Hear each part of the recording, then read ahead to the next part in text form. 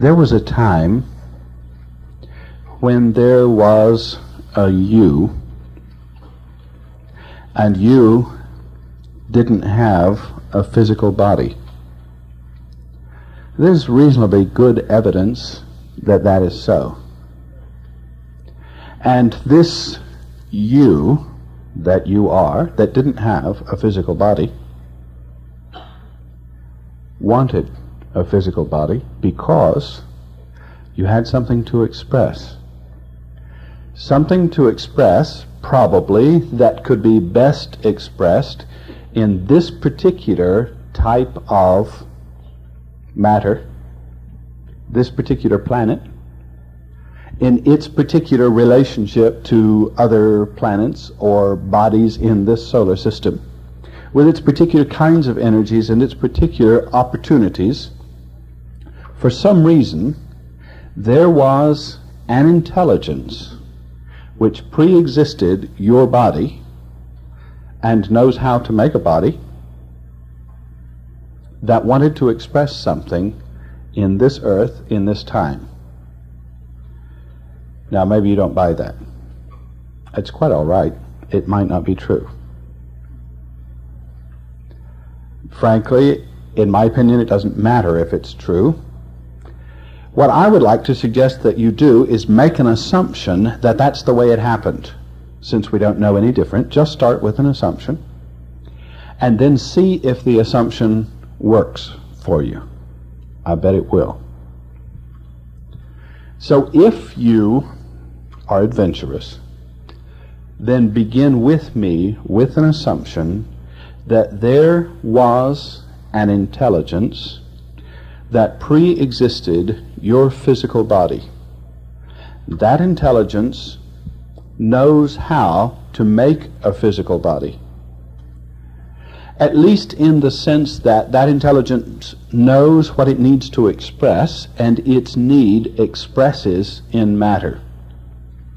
Now, I suspect that at about the point that we have just described, you began to exert some persuasive thoughts upon someone who looked like a likely instrument through which you could express. In other words, very possibly at this point in time that we've just described, you started affecting your mother. Maybe your father. More likely your mother. And your mother forgot to take safety precautions because something in the back of her mind was longing to express herself, perhaps. Maybe it happened that way. And this creative consciousness that is you participating with your mother and your father built a physical instrument and entered into this reality. And you began to experience sensory reality, physical reality, by using an instrument that you had created which has senses. And using that instrument, you felt of the world around you a bit of a shock at first, wasn't it? You don't remember? Well, it was. And probably the most important thing that happened early in your life is that as you experienced this reality through five sensory mechanisms, which are not you, but are tools available for your use and maybe you even had that perspective at that time. You had five tools to use for experiencing matter, and you used them. And the interesting thing is, every time you used them, people came running to you and played with you and cuddled and touched you and tried to make you laugh and all of those things. You got all sorts of attention. And then you would leave you would close the sensory mechanisms for a moment because that tool is very cumbersome considering how expressive you are without the tool. that thing is a very cumbersome instrument for expression. And after all, you've known your mother for months already anyway. You've been communicating, you've been making her feel things, you've been leading her in directions and so on. Now, all of a sudden, she only pays attention to you when you use that silly instrument to communicate with her. And if you're not in the instrument, she simply ignores you as if you didn't exist. Remember?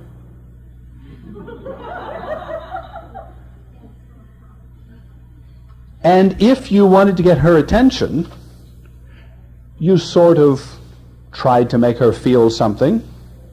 She paid no attention. She had other things to do. After all, she was tired by this point. And you tried to get her attention, tried to communicate with her, nothing happens, and finally, in utter disgust, you get that instrument again and you rev it up and you scream and she comes running.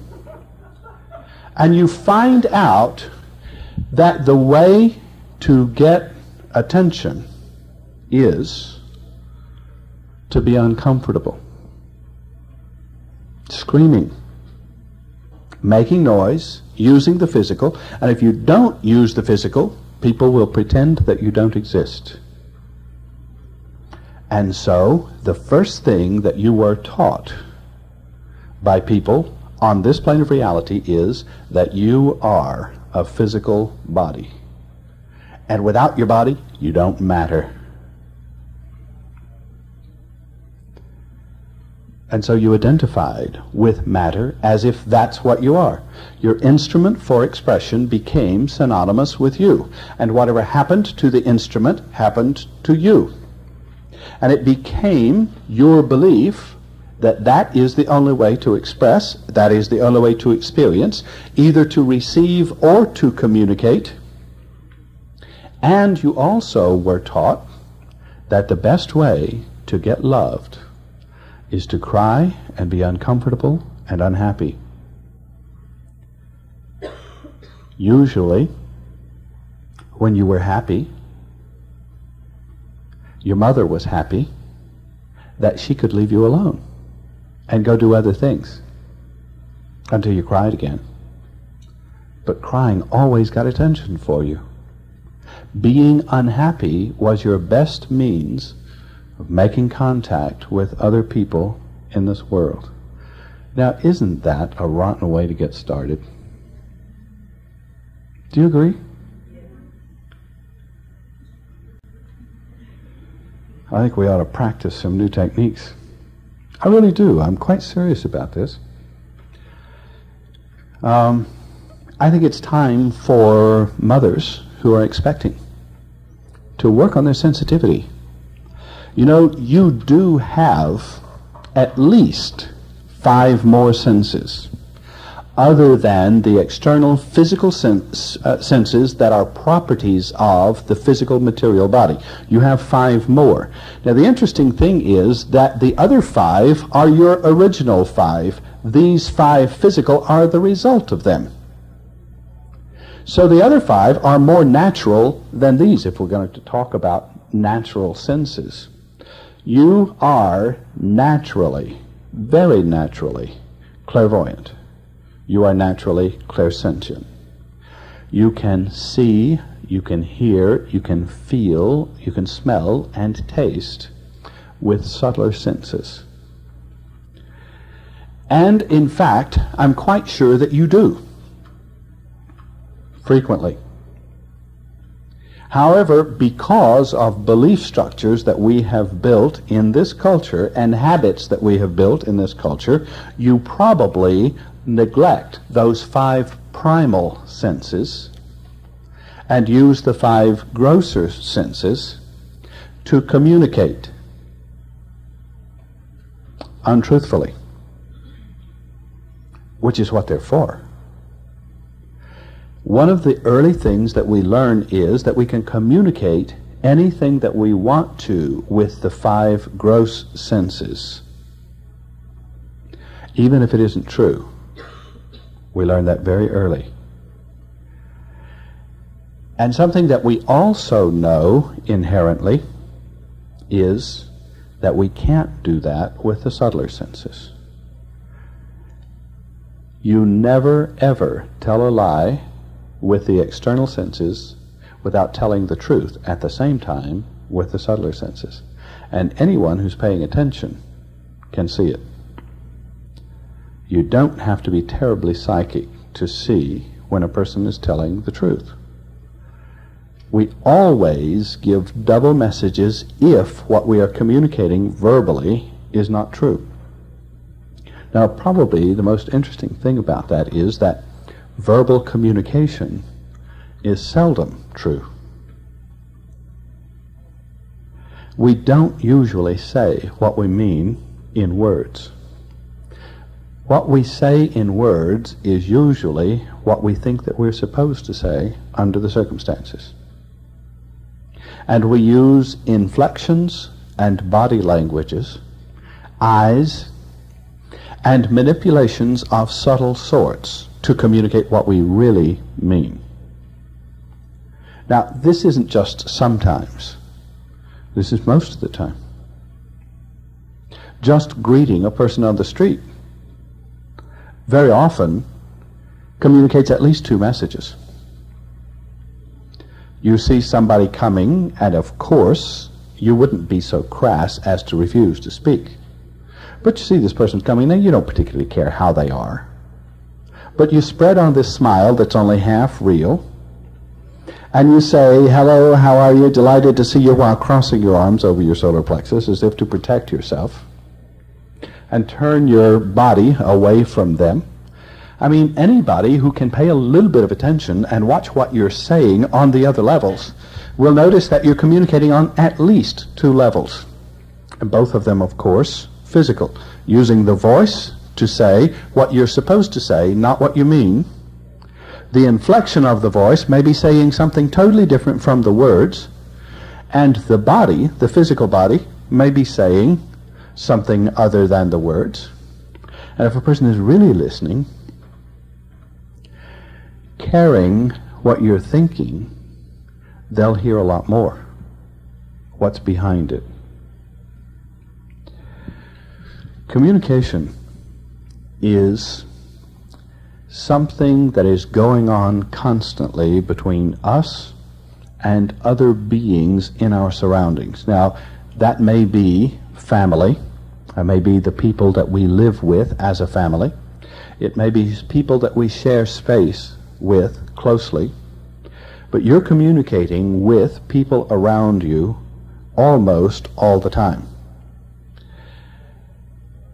You communicate things from inside that you may never say or may never even express in body language. There is another level, a subtler level of communication that doesn't require either the physical body or the voice. We can call that psychic communication. I don't think it's a very good word because it implies all sorts of things that, uh, that seem supernatural. What we really should say is this Your mind has field properties. Field properties means that a source of energy can affect something else, a receiver, at a distance without an obvious means of connection between the two. Your mind has field properties. It is capable of emitting energy which can be received over long distances and is received by anyone who makes himself or herself receptive on the same wavelength, if you'll pardon that expression. What that really means is this. If one of you, any one of you, should care about another person. And care what that person is thinking, and how that person is feeling. And if you should care about what that person is thinking and how they're feeling more than you're caring about yourself at any given moment, you will experience their thoughts and the way they feel. Telepathy is as simple as that. Now let's say it another way. If I want to know what you're thinking right now, all I really have to do is care more what you're thinking than what I'm thinking. And if I care more what you're thinking than what I'm thinking, I will give up my own thoughts, ideas, and opinions, and I will hear yours. Now, the interesting thing is, I may not know it. This kind of communication happens more often by accident than on purpose. People are too lazy to do it on purpose. But accidentally, it works quite well. If you happen to care about another person, usually happens, of course, when people fall in love. You notice a young man or a young lady suddenly notices somebody else, and suddenly all of the things that they were concerned with for months, maybe even years, suddenly don't matter. And for an extended period of time, that person, whatever they're doing on the job, at school, whatever, their mind is not with them. It's constantly, consistently, for an extended period, caring about someone else, curious about that other person and what they're thinking and feeling. That makes a person receptive. And, as a matter of fact, the greatest evidence for that kind of communication is what is called sympathetic sickness. Have you ever heard of sympathetic sickness? Very often happens in young married couples. When the wife starts to get morning sickness, the husband gets sick.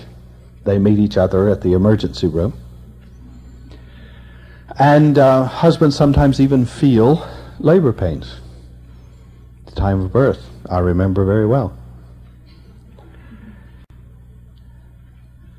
If you learn to care what another person is thinking, you will make yourself receptive. Now, it isn't the easiest thing to do deliberately because when you start doing it deliberately, then your mind starts getting caught up in whether you're being successful or not, which means that your mind is on yourself again and not on the other person. In other words, the secret of it is a genuine caring. Not experimenting to prove a point, that seldom works. But a genuine caring will cause you to be receptive, magnetically receptive. And being receptive, you will receive thoughts of people around you. Now, it isn't just being receptive deliberately that causes you to receive thoughts of others. It happens actually more simply than that. Not experiencing your own thoughts deliberately will often cause you to feel and experience the thoughts of others. Now, frankly, that's less healthy than do it, doing it on purpose, but it happens all the time. What I mean by that is this. There are two kinds of thinkers, or two ways of thinking. One is a deliberate act of thinking which produces a positive polarity. The other is receptive or negative or feminine thinking, which happens very often just in the process of daydreaming or being empty in your consciousness.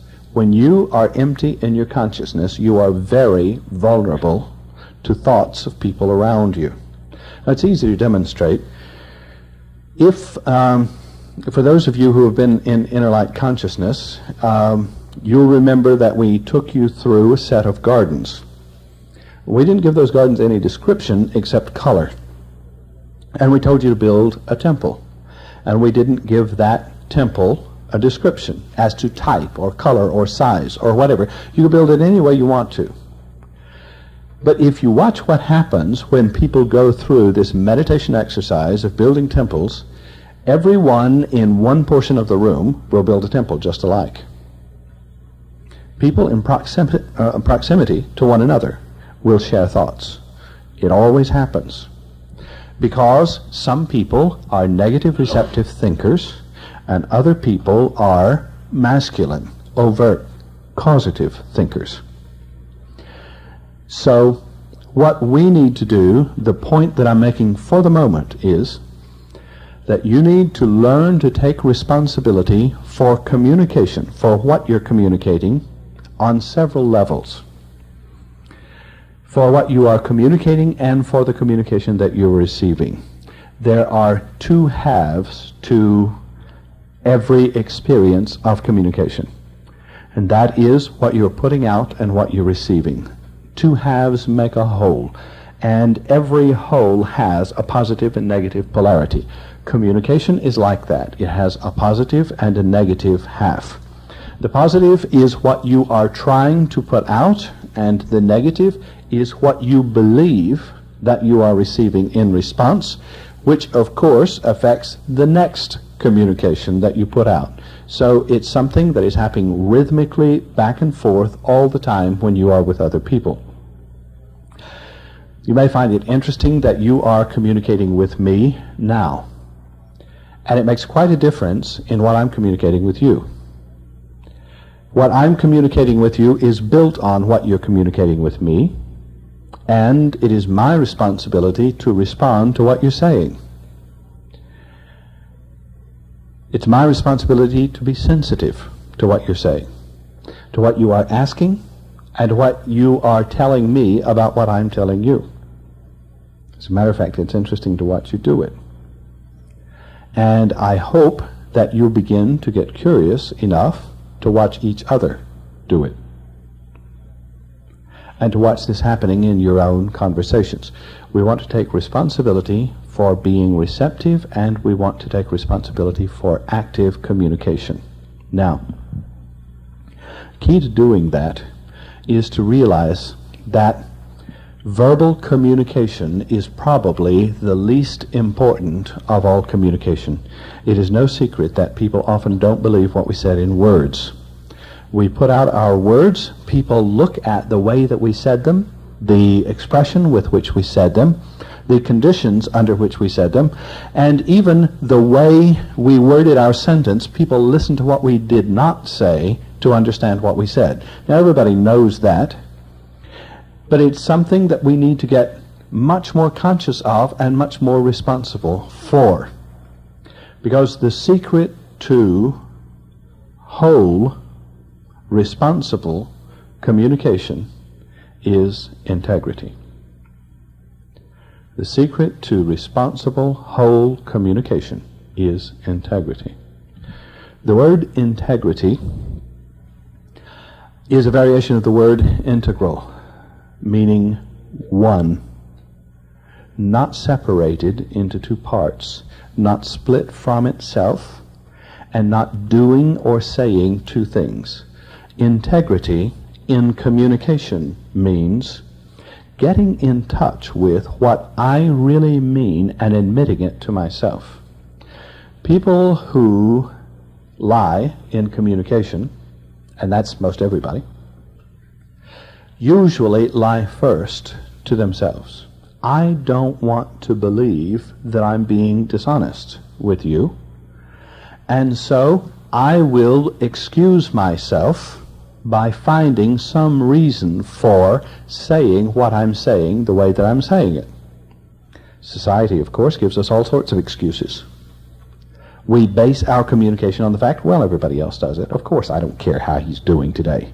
I just ask that because everybody asks it. It's polite. I mean, that's a reason for being dishonest. Right? Good reason? You're not the most responsive group of people I've talked with in a long time we are going to make this a conversation. You know, communication is two parts. You know, integrity comes from examining myself and knowing who I am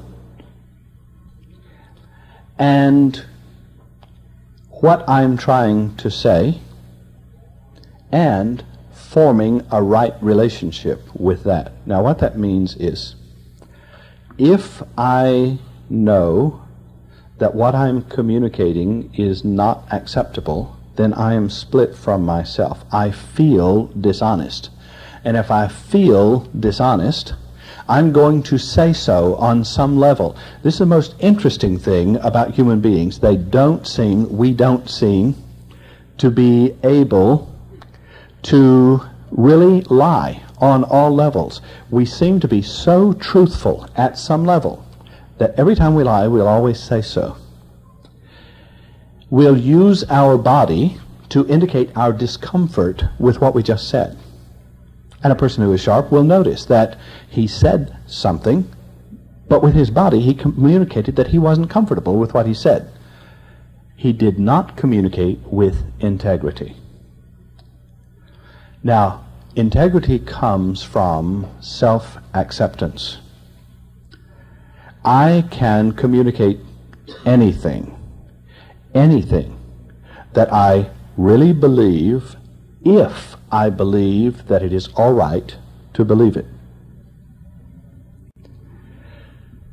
Now, what I'm coming down to in cleaning up communication comes back to a theme that most of you have heard me harp on before. And I don't mind harping on this point because it is the point that we will be hammering away at all weekend. And it is this. If you are all right with you, if you have given you permission to think what you think, and if you have given yourself permission to communicate that, if you feel all right about yourself and your right to communicate and your right to think as you do, you will communicate with integrity. And all of your signals will say the same thing at the same time. And when all of your signals say the same thing at the same time, even people who don't know how to read the multi-level signals will notice something unusual about you. They will think that you communicate with confidence. Confidence is a result of integrity in thinking. Now, I'm not using integrity here in the moral sense. I'm not using it in the sense of saying that what I'm thinking, the way that I think, and what I believe agrees with what moral codes say that I should believe. I am not using integrity in that sense. As a matter of fact, that sense has damn little to do with integrity. Integrity means harmonizing with yourself on all levels, being one. And being one means that I can think a thought that you would consider immoral. And I can express that. As a matter of fact, I have fun with this quite frequently. I do things that just shock the dickens out of people who think that spiritual leaders are supposed to be certain ways because I just don't happen to agree with the image that spiritual leaders are supposed to carry. Which allows me to say things that will shock them and still have integrity because it doesn't shock me. Because I have looked at what I'm communicating. And my belief about that is all right with me. I have found it acceptable. Now, it may violate other codes. It may violate other beliefs. But if I have formed a right relationship with me, if I have accepted me as an individual, and I have decided I'll take responsibility for what I communicate, I am willing to accept responsibility for what it does, then I can communicate what I feel instead of communicating what I think I'm supposed to say under certain conditions while thinking, I wish I didn't have to say that. And sending out this double message, this multi-level message. We create in ourselves and our children at a very, very early age this business of communicating one thing while believing another and telling our children at the same time, you are supposed to be honest. Now, of course, we don't say certain things in front of her. You know, we say that we believe something else when the preacher is here. You know, we don't use that kind of language when certain people are here. We teach ourselves and we teach our children that it is all right to lie, except that we also teach that it is not all right to lie, and that double message gets caught in the physical body. It is not possible to communicate a lack of integrity without tightening muscles. And the place where you tighten the muscles will very often have to do with the subject that you're communicating about.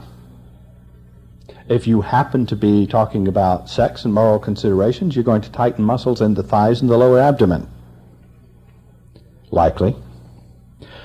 If it is about um, your job, I mean, how often do. Here's something that I see all the time. So uh, I think it's something that you might relate to. I see people who spend a lot of time on the job and feel unproductive. They're not sure that they got their job done, so they work overtime. Not because they had to, but because they feel guilty about not getting more done because they were confused, not busy. And then they work overtime and overtime and overtime, put in lots and lots of hours. They got nothing in particular done.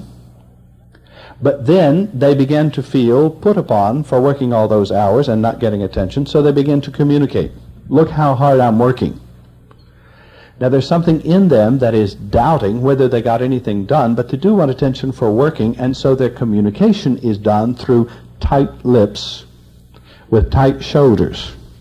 They're shouldering a burden, and they have conflict about their belief about the burden. So what's happening?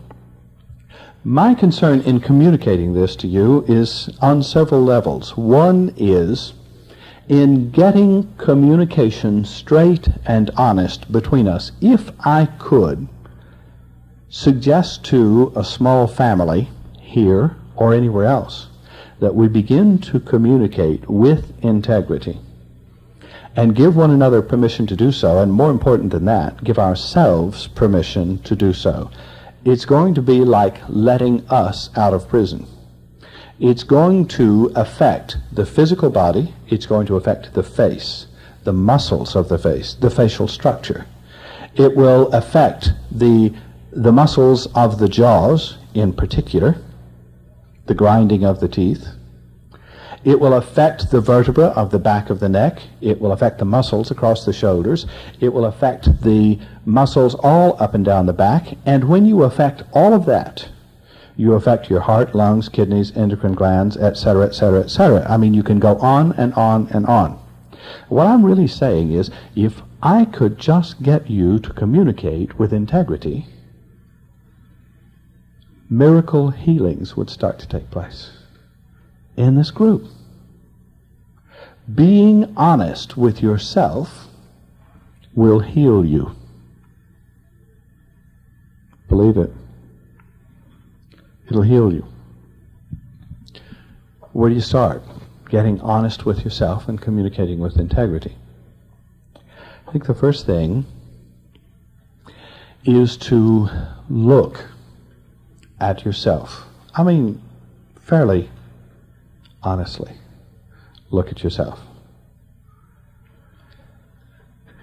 Get in touch with yourself and how you feel about you and about what you've been saying to people around you. The majority of meaningful, effective communication in your life right now is done with your emotions, not with your words. Betcha.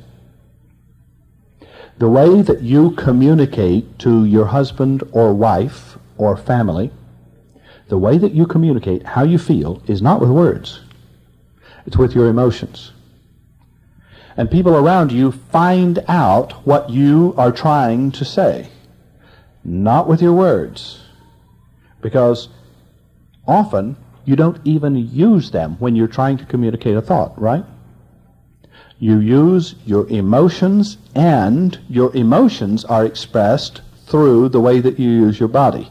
So you use your physical body and your emotions to manipulate people around you and to tell them that you are feeling good or bad, or you need this, you need that. You manipulate people with your emotions, and in doing that, you try to communicate your needs. Now, it isn't a very accurate way of communicating.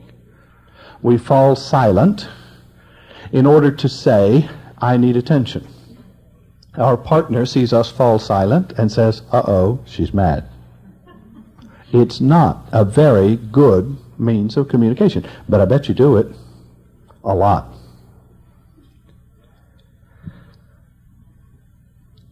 Get in touch with yourself and how you're communicating.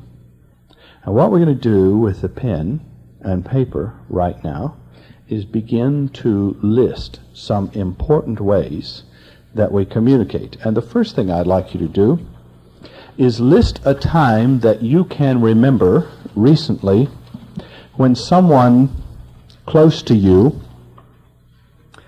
used manipulation to communicate their feelings to you.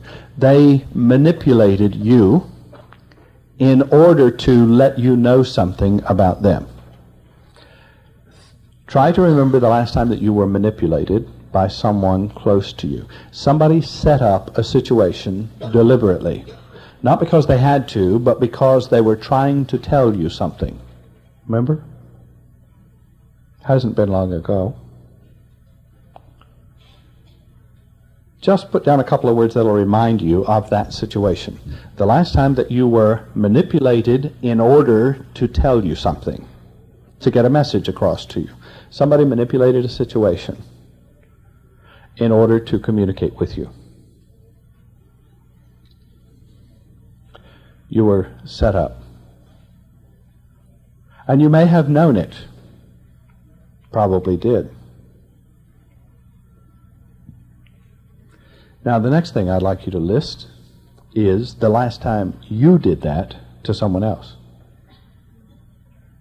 The most recent time that you can remember deliberately creating a situation which may or may not have been honest, but you created a situation to tell somebody something that you did not want to tell them in words. Remember? That hasn't been long ago either.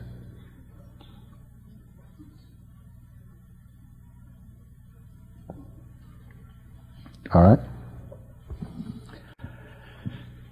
After you have listed those two things, the third thing that I'd like you to list is the last time that you remember noticing that somebody was telling you something with their body that was different from what they were telling you with words. You know, this evening is an interesting study in communication while we're talking about communication. Our communication changes as we begin to get comfortable with each other. One question that we haven't answered yet is just exactly what is communication?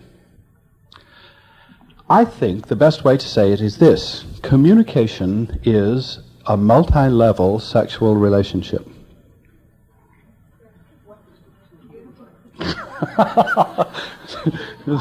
looked at some of you looked as if I hit you when I said that. Communication is a multi-level sexual relationship. Now let me explain what I mean by that. Um, when I use the word sex, we are going to go beyond uh, in this workshop all weekend. We're going to be using sex in a more universal sense than uh, genital relationships. So we're not talking about physical genital relationships. What we're talking about is polarity. Sex means the interaction of a positive with a negative, whether we're talking about metals, whether we're talking about atoms, whether we're talking about molecules, amoebas, animals, or humans, or even ideas.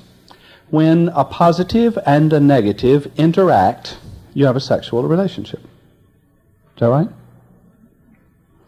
Communication is a positive interacting with a negative, which may happen on several different levels, and it may be positive on one level and negative on another at the same time. So, the important thing to realize is that you are a multi level being. You are not just a physical body. That is an instrument, but it isn't all that you are. But when you communicate, you do use all that you are, so that on several different levels you are having an interaction. You may be expressing an idea in words and receiving energy to an emotion that you're feeling on a totally different level. In other words, you are, with words, expressing anger. Now, when you express that anger, the person that you're expressing it to is acceptably contrite. So, you receive satisfaction while expressing anger. That's a sexual relationship. Got it? no. okay. All right.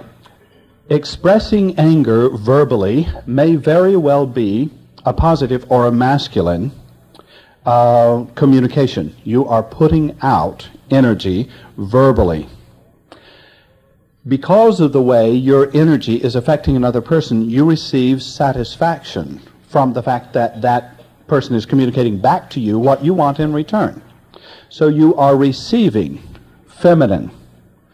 That feminine receiving is causing a result in you. So the feminine conceived and gave birth to a new feeling. So there are three things happening. You put out a masculine, you received feminine, you incubated that, and put out a new emotion as a result of it.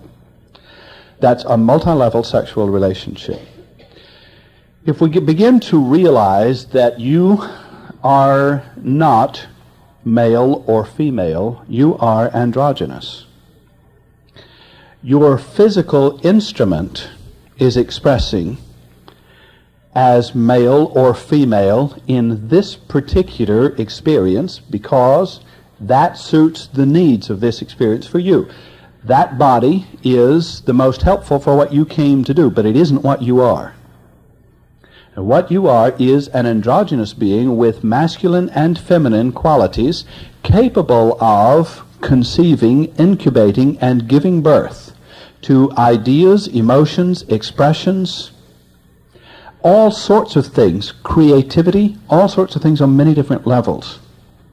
And communication is the act of having productive relationships on subtle and gross levels, or either subtle or gross levels.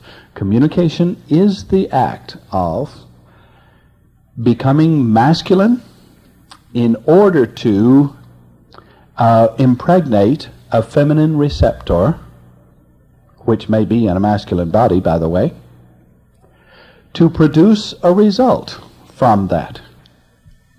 Is that too much sex for you in one night?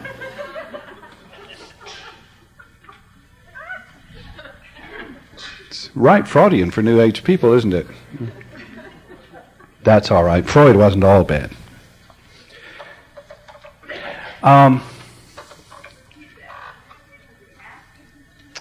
okay, the act of becoming masculine in order to impregnate a feminine receiver with an idea or a thought, an image, uh, in order to produce a result which is offspring of the action, or the opposite of that.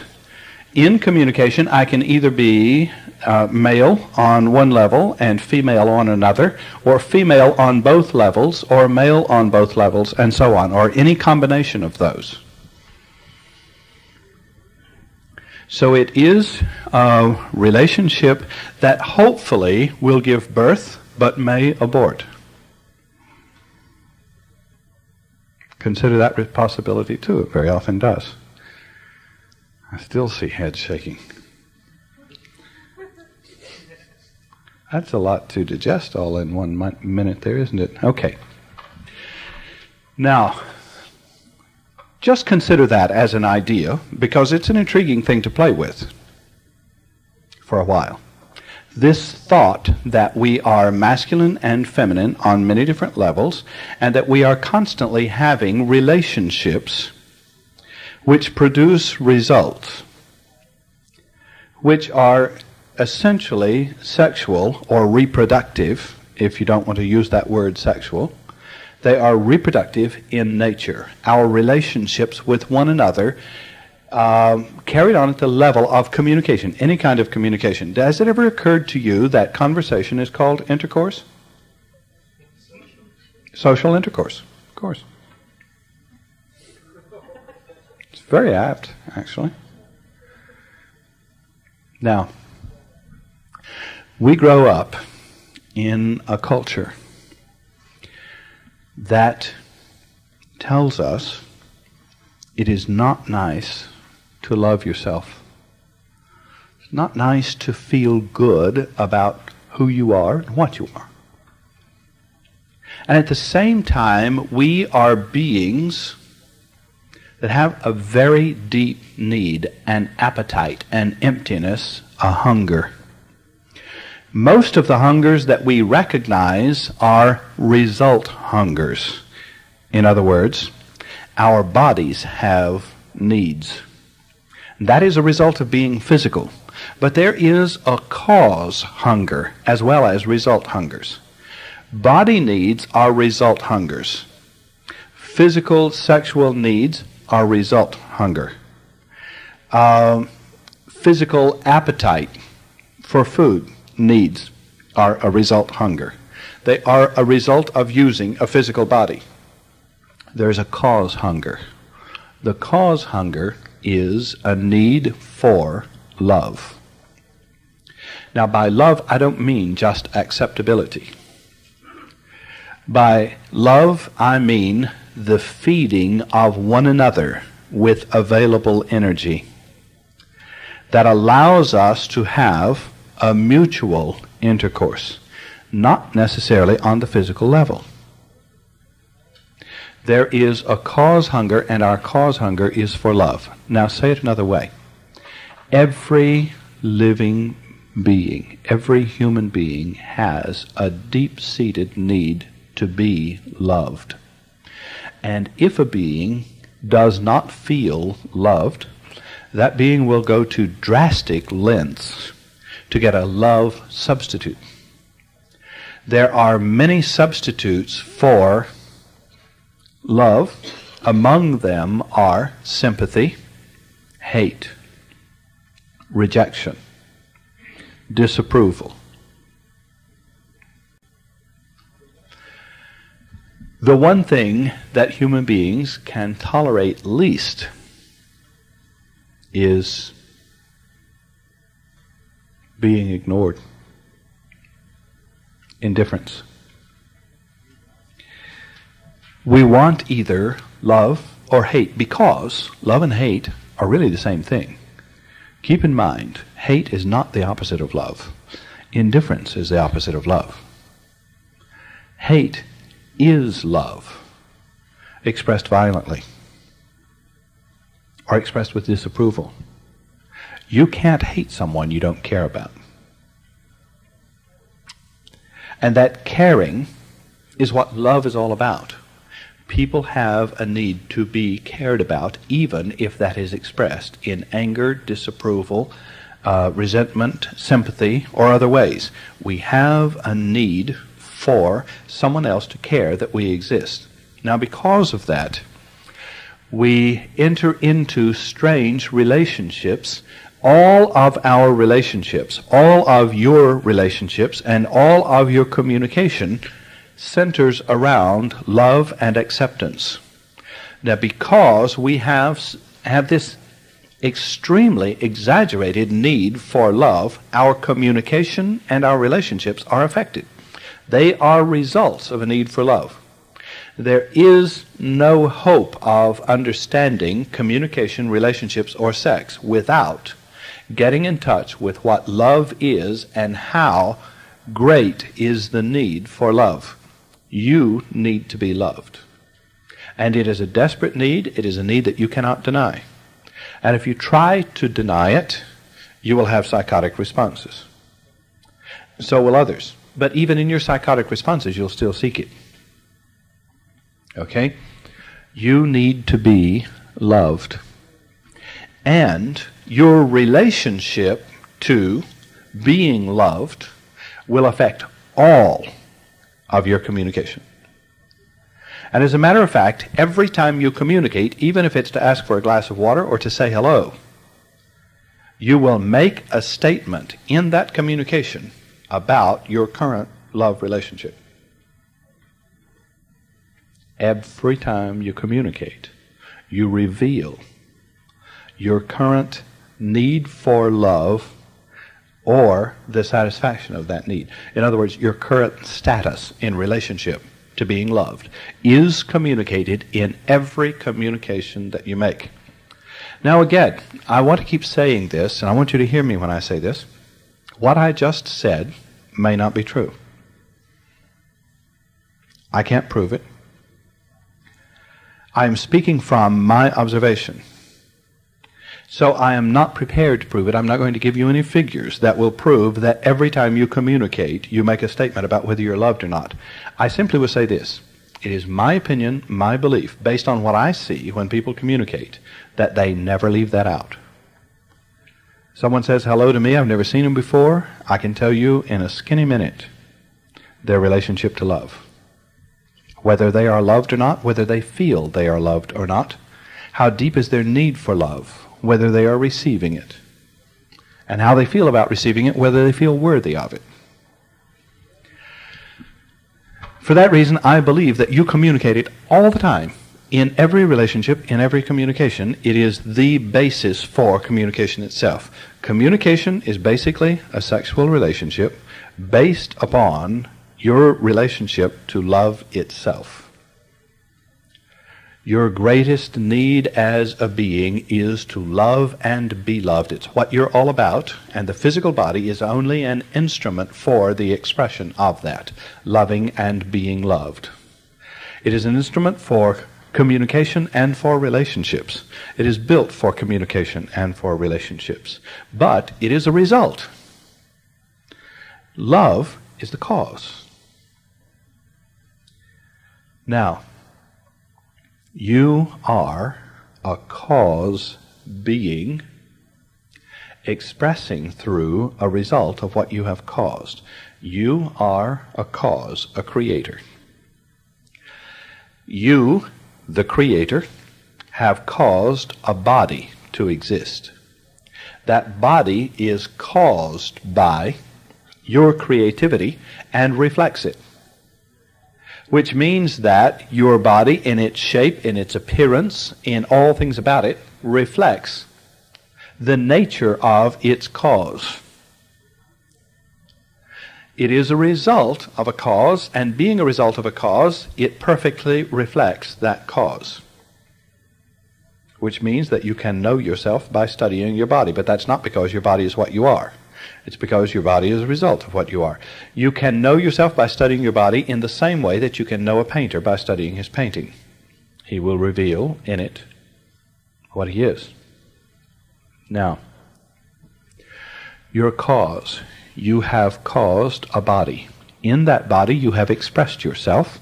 You have expressed your feeling about yourself and about others and you use that body and the personality that is also a result. Now, let's get in touch with those two factors for a moment. You created a body that is a result of what you are and the way that you think. In that body, you formed relationships very early and in those relationships, you accepted beliefs.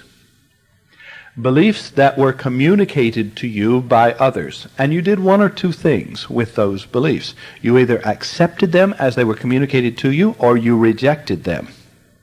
Neither on a rational basis necessarily.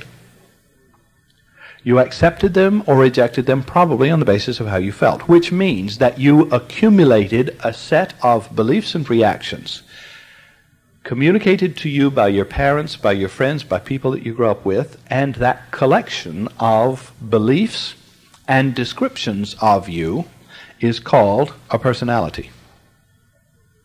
It is not your personality.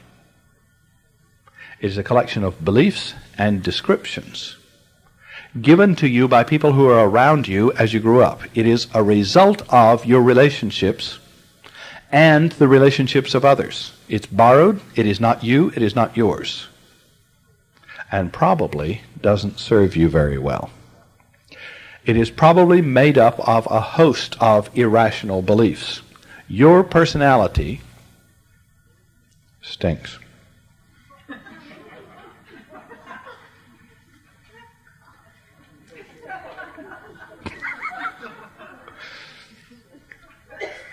Now, I feel free to say that because I have so rarely seen anyone whose personality served them consistently. Because the person who works on examining the personality, the set of beliefs, and whether they work or not is a rare person. Takes a lot of energy, takes a lot of dedication, takes a lot of commitment, and it's what spiritual growth is all about. Cleaning up your set of beliefs which results in a personality. Your personality is probably made up of manipulative devices to get what you want from others, which would be all right, except that what you want is usually based on false beliefs about your own needs. So that you are getting things by manipulation which don't serve you when you get them.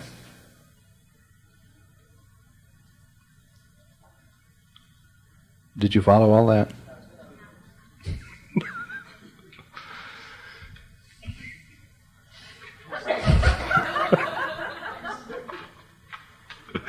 okay.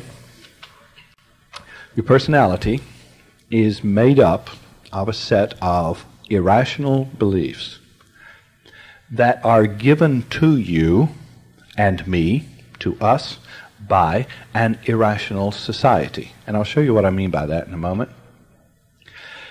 You take those irrational beliefs about yourself. For example, that it's not nice to love yourself. That if you really want something that somebody else has, you're not supposed to say so. You're supposed to get them to give it to you without admitting that you really wanted it. How many times have you done that recently? Uh, I mean, the very basic belief of that is that you're not supposed to be honest.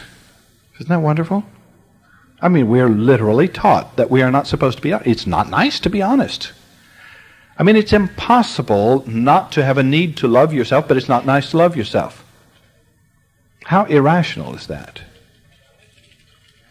So we have all these irrational beliefs which cause us to manipulate others to get them to do for us what we want done, but which we do not want to admit that we want done. Who started all this? Okay, this is a good question. Who started all of this? Um, you really want to go back that far? Um, the story that I have heard is this. There was a time when none of us occupied physical bodies, and yet we existed. But I couldn't really tell the difference between me and you because we had a tendency to interchange thoughts, and I never really knew whether it was my thought or your thought until we decided to experience matter. And when we experienced matter, we learned that in this particular planet of polarity, that things separate in order to multiply and reproduce. And being curious about that kind of experience, you and I separated into male and female halves. So I experienced being one half of the whole that I once was. And experiencing being that half, I also now realized that if you and I both get terribly curious about that grape and how it tastes, then we have a conflict of interest. Which means that the next step is that in order to serve my interests, which I now believe are different from yours, there's the first irrationality that crept in, and that is what is classically called the fall. At the moment that I noticed that grape and realized that one or the other of us could have it, but not both of us. And my belief about myself was that my interest competes with yours. And as a result of that, I decided to build into me weapons for survival, size, manipulative ability, and so on. This separateness and this competitiveness affected the whole of earth. According to the ancient teachers, in that second, roses grew thorns, bees developed stingers, and animals became competitive. The whole earth was affected by the thought of the Creator called mankind. Now, that may not be true, but there's reasonably good evidence that that's true. And perhaps that's where it all started. We started with an irrational thought. The irrational thought was that your interests commu- uh, um, compete with mine. That is not accurate. It isn't true. As a matter of fact, my interest is yours. It is in my interest to support you and keep you alive. Because you are a source of what I need more than I need that grape. I need your approval. I need your acceptance. I need your love. Now, more than I need your love, I simply need love. Which is the point that I think is most important for us to arrive at tonight. I need love. Not necessarily your love. I need love.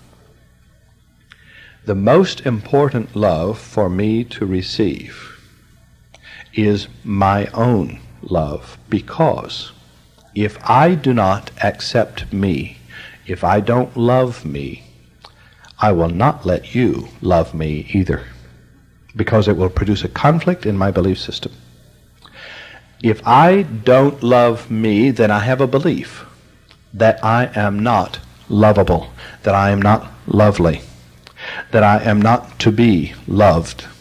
And if you love me, it will cause me to feel as if I'm lying, which means that I will begin to sabotage our love relationship by communicating to you things that will make it very difficult for you to love me.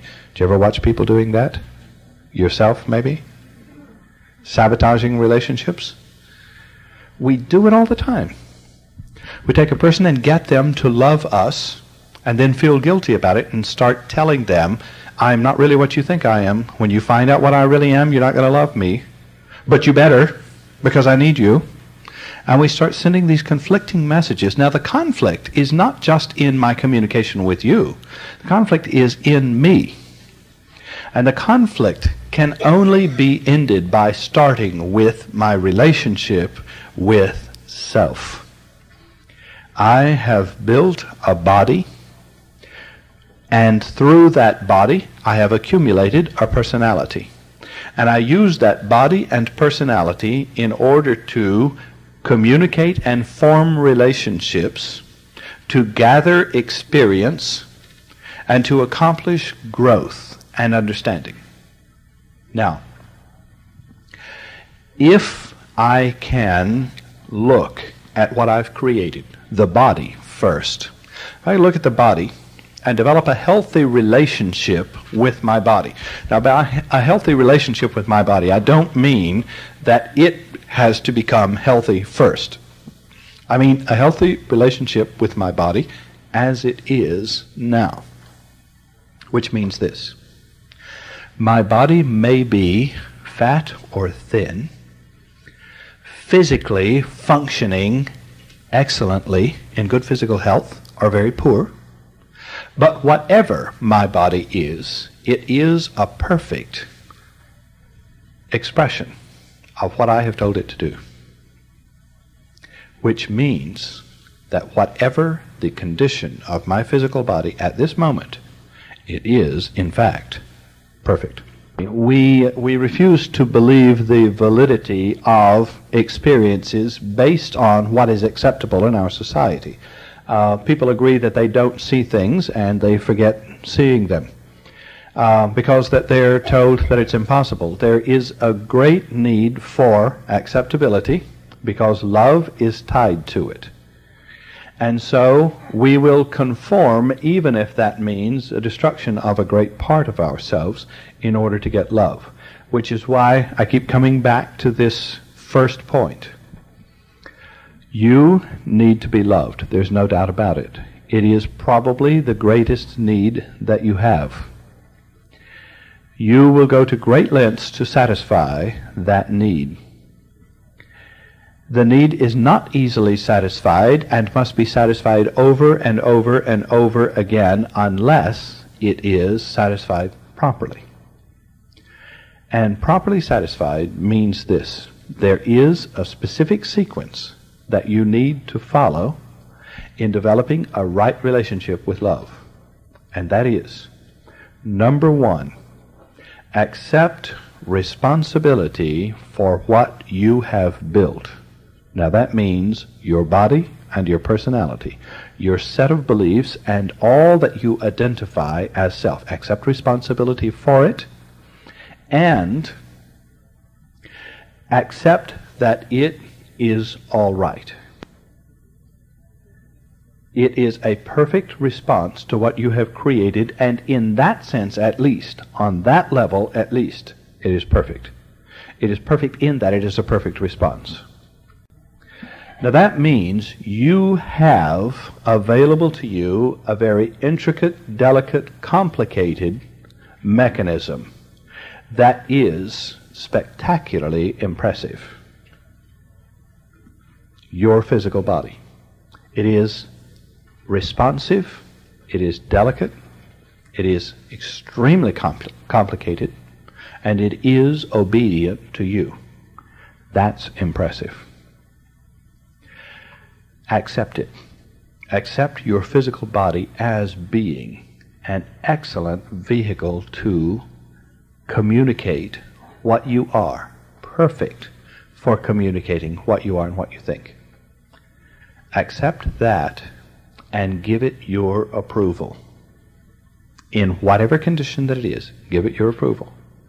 Now, you'll have to give it your approval if you want to change it so if that's difficult for you, that's the first place that you need to work. You need to work on how you feel about your own body. Now, there are specific ways to do that. One of the ways is this. If you disapprove of your body, you probably disapprove of it on aesthetic grounds.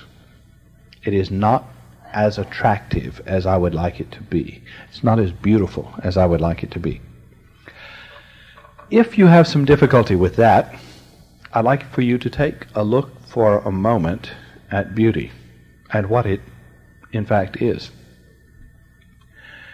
We have associated beauty in our culture with aesthetics, that is, bone structure, shape, complexion, and so on. That's irrational. I'll tell you why it's irrational. You can take a person who has all of those qualities the Hollywood syndrome, all of those qualities of physical appearance that are supposed to project beauty, and you can notice that that person is not projecting something that makes me feel better. If so, that person is not projecting beauty. On the other hand, you can take a strangely misshapen, ugly, gnarled little old man something that doesn't match Hollywood's image of beauty at all, and you can take that person and have that person communicate joy, laughter, acceptance, and love, and you'll see beauty. Beauty is a living thing made of communication and through the use of your instrument. You have an instrument, you have a body that is capable of communicating beauty you have a beautiful body. Now, you don't have to believe that if you don't want to, but if you don't believe it, you'll have to live with the results of not believing it. And the choice is yours. And personally, I believe that you have a beautiful body. I'm not supposed to say that to you guys in this culture. But I have integrity. And with integrity, I do say that. And to heck with culture. I think you have a beautiful body.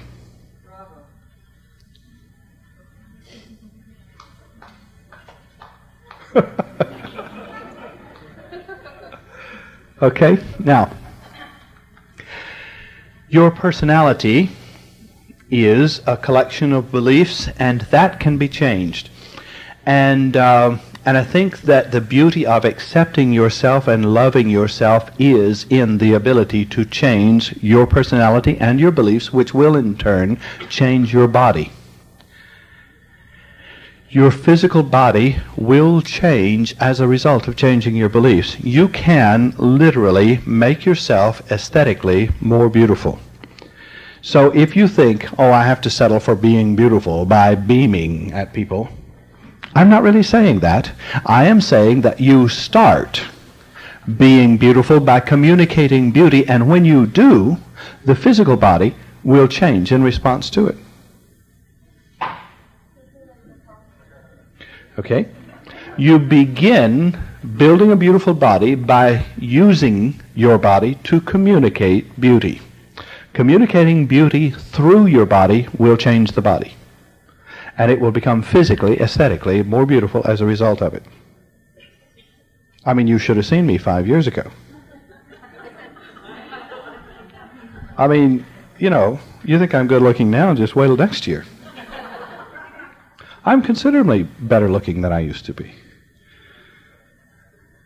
Well, you just didn't see what I used to look like. Doing pretty good considering. You can, in fact, make yourself more beautiful physically. You can recreate your personality and you can recreate your body, but you don't do it by disliking what you have. You cannot dislike what you have because you have created it. It is a perfect expression of you. Accept it. Own it. Take responsibility for it. And taking responsibility for it, congratulate yourself. Don't disapprove. Don't get into that, or you've got the cycle going and you'll have to live with the disapproval. The disapproval will manifest through you. It will show. You will have to live with the result, and you will further disapprove. It's a vicious cycle. So the place to start is to accept what you are right now as being a perfect expression of a creator. Now, even if you have created a mass of ugliness, you have created. You are a creator, and you can change your creation, but you have to own it first. It is raw material, so accept it as that and love it as that. I love the fact that I have a blob of flesh that is a perfect expression of the creative me, and I can own that. And whatever I've made of it at the moment is of the moment, and I can reshape that, I can make it more beautiful by taking responsibility for it. Both physical body and personality. I will own it, I will love it. I will love it enough to make it mine and expressive of me. And by expressing beauty through it, I will expect it to begin to change. Now, once again, we can come back to saying all of this may not be true. I only suggest that it is true because it gives you a chance to do something about you. Just on the chance that you need to.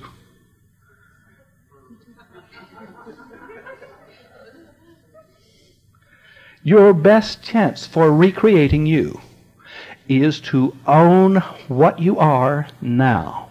The body that you have made, the mind that you have created, that you have built, the personality that you have built, take responsibility for it in this moment.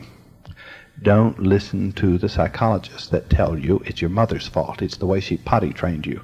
Forget that stuff. Your mother had her own problems, and so did her mother and her mother's mother. What you have right now is a result of your expression of yourself. Own it. Take your body and say, Whatever is not pleasing about it, it is because I haven't finished manipulating this piece of clay yet. It is mine, it is me, and I will make it beautiful.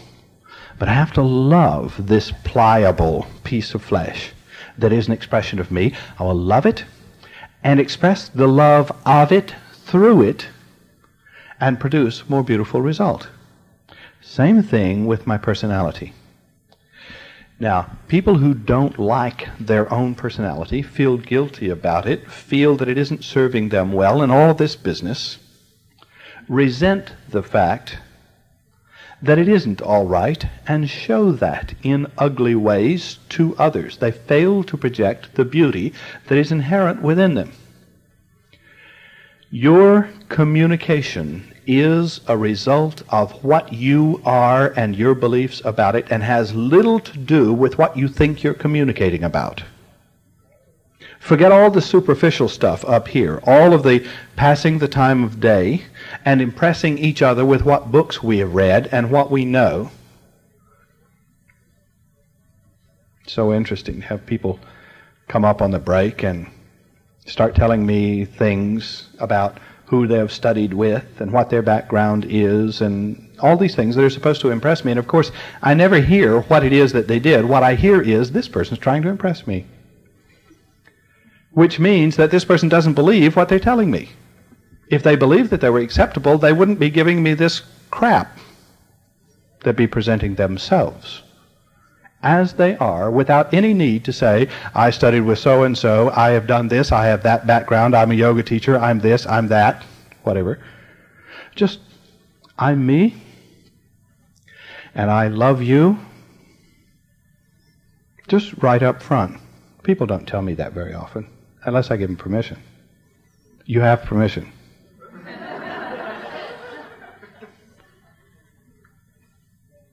And sometimes, even when they do, they say it, you know, like, I love you. Hmm.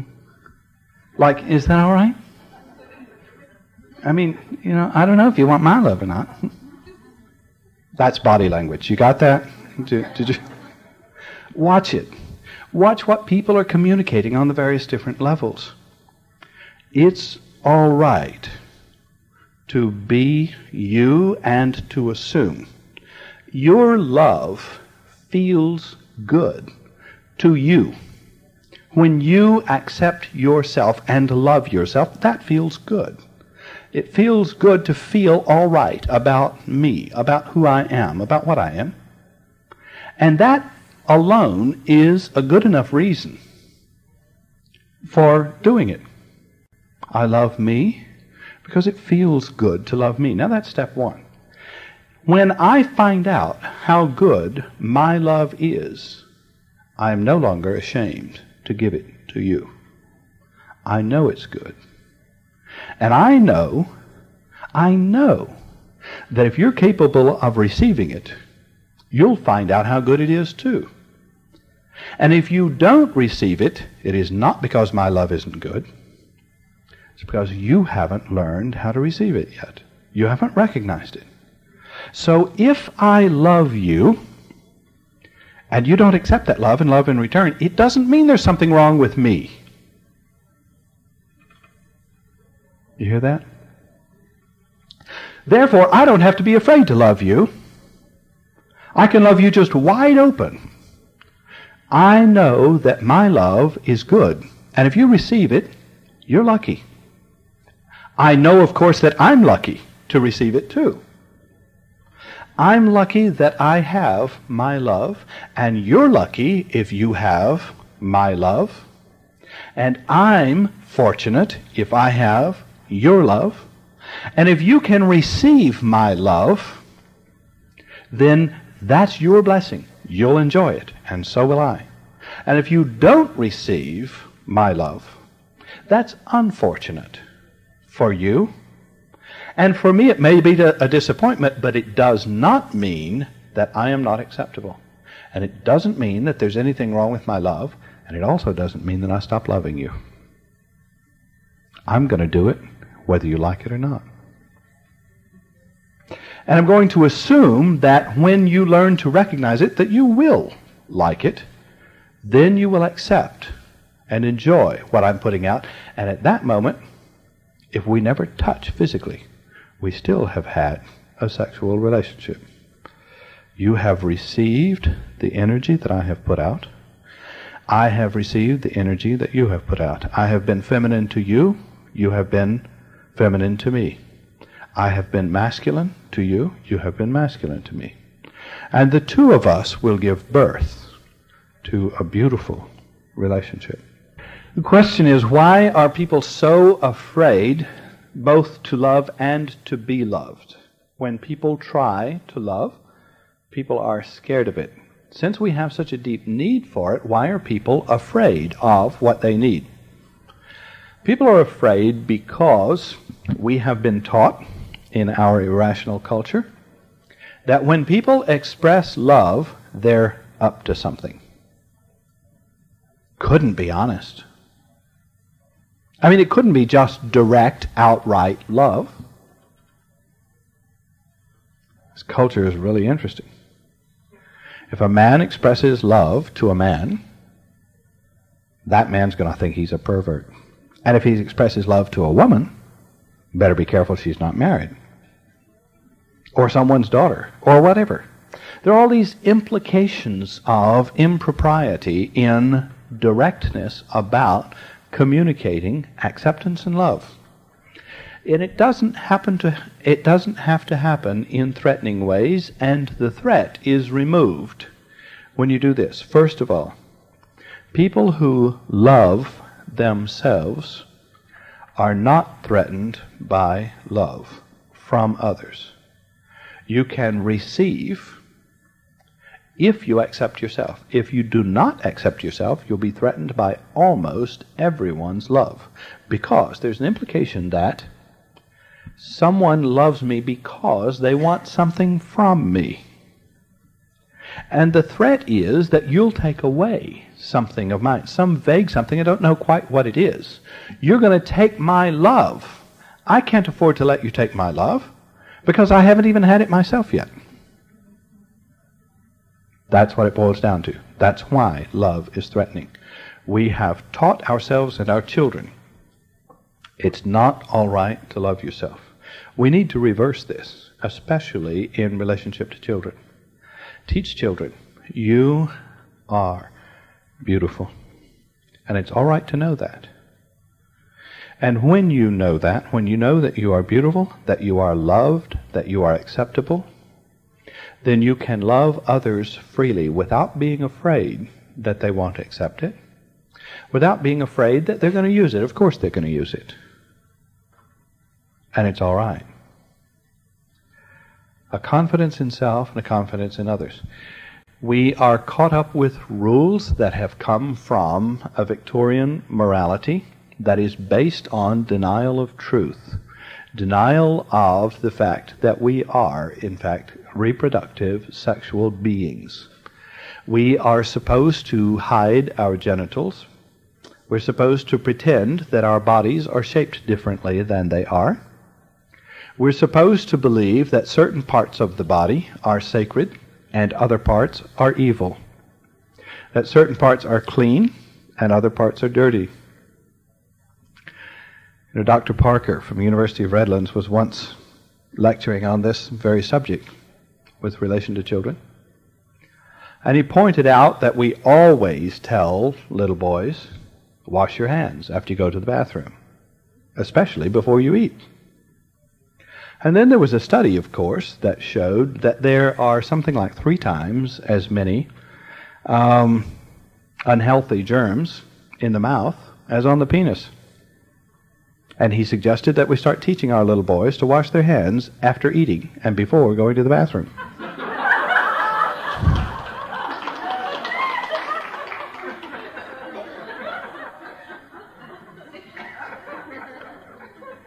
All this business about the genitals being unclean has nothing to do with sanitary conditions. It has nothing to do with germs. It has to do with beliefs, morality. denial of what we are, the very nature of our beings. And our threatening love relationships, our being threatened by love, is based on those irrational beliefs that have come out of that. And even discussing these things is so difficult, even for adults, even in California.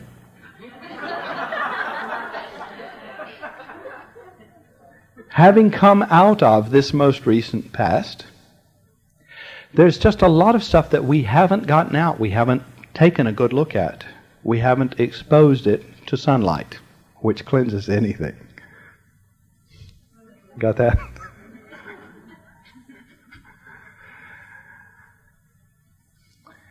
and as a result of not being honest with who we are and what our needs are, we have built these fears. We have communicated them to one another, and we have found love threatening.